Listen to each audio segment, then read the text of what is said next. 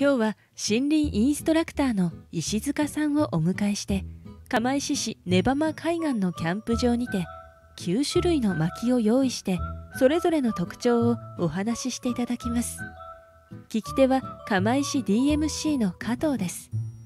これを聞けばあなたの焚き火ライフがもっと豊かに。釜石の薪のお話。始まります。よろしくお願いします。よろしくお願いします。じゃあ早速ですけどあの石塚さんまず炊いてみますか。そうですね。後でお話しますけどこう結構松ぼっくりって油分が多く含まれていて、はい、焚き付けには結構こう最適ないいあの焚きづえっと山の中で取れるいい焚き付けアイテムの一つです。はい、でこの杉あ杉じゃないわ。この松ぼっくりとあとまあこの杉のこう枝葉ですね、はい、これを使うと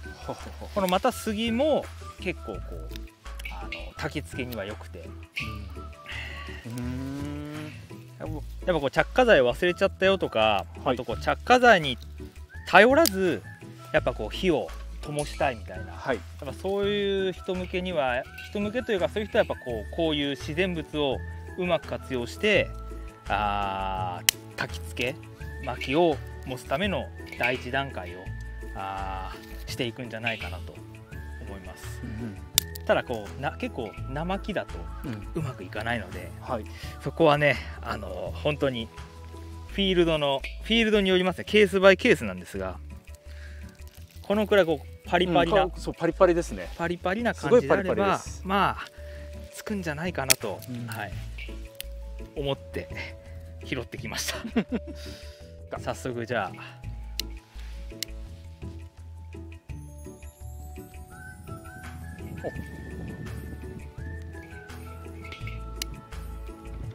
すぐですね。すぐつきましたね。で早速ついたら、うん、まあ、はい。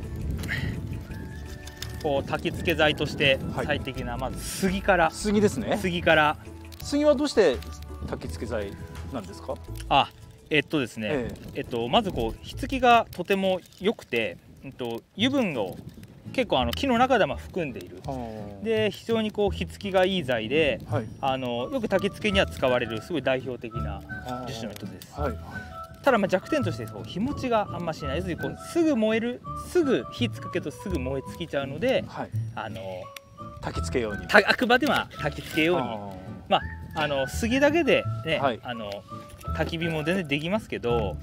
まあちょっとこうすぐくべなきゃいけなくてあちょっとこう面倒くさいかなっていう。ガンガンもすぐ燃えてますよね。あそうですね。そうですね、まあ、ガンガンもした人にはね、はい、いいと思うんですけど。例えば杉じゃないあの後でご説明する広葉樹だと、はい、なかなか火がつかなくて、うん、あの焚き付けだけ燃えて、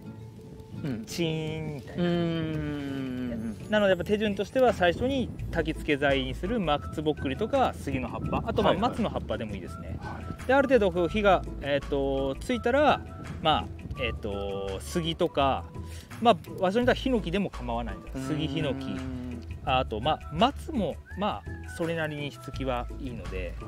この辺ですかね。を最初にくべてあげる、はい、杉なんかはどのキャンプ場に行ってもあの多分置いてると思いますし、えー、ホームセンターに行っても置いてると思う、はい、まさにこう焚き火をするのに、まあ、必須な樹種といっても過言じゃない、もう すごいですじゃないちょっと燃えすぎてやばい。ちょっと燃えすぎかなっていう。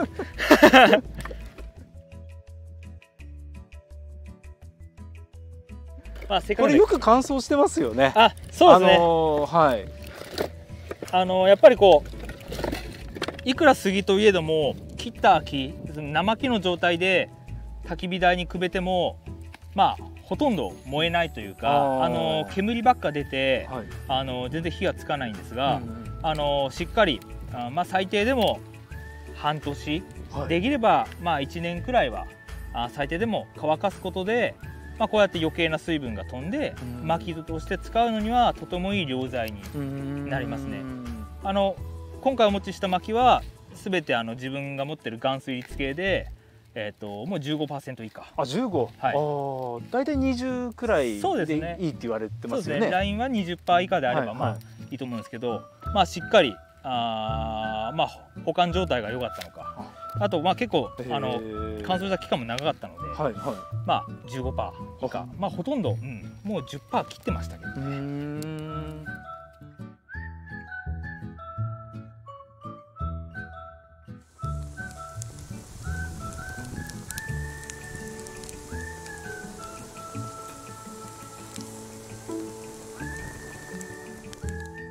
えちょっと皆さん気になると思うんですけども杉の後は一体何種類くらいこのどんなのが出てくるんですか？えー、っとですね、はい、なんか、えー、っとざっくり全部で9種類お持ちしたんですけど、はい、大きく分けるとしたら針葉樹と広葉樹に分かれて、はい、針葉樹はこの杉と赤松松を持ってきまし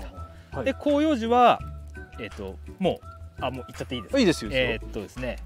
一応こう薪といえばっていう代表的な樹種の奈良。奈良。はいそしてですね、うんと燻製チップにも使われるくらい華やかな香りの立つ桜。桜楽しみですね、うん、あとは、え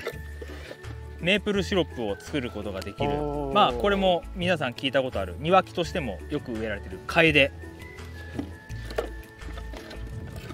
と,、えーと、これも同じく庭木としてよく使われた。あとこけしの材料にもなる青肌。あとは一般的ではないんですが、うんと、キノコを作るホダギとして結構優秀だ。しいたけヒラタケなめこなどのいろんなキノコの栽培に適しているシデあとは結構、うんと、昔のあ、まあ、自社仏閣なんかに使われる高級建築材の一つのケヤキ。並木でも結構ねケヤキ並木っていろんな地域にあると思いますけど、はいまあ、そのケヤキですね。で最後にまあみんな一度は食べたことがあるであろう栗です。栗。はい。以上全部でいいかな？九種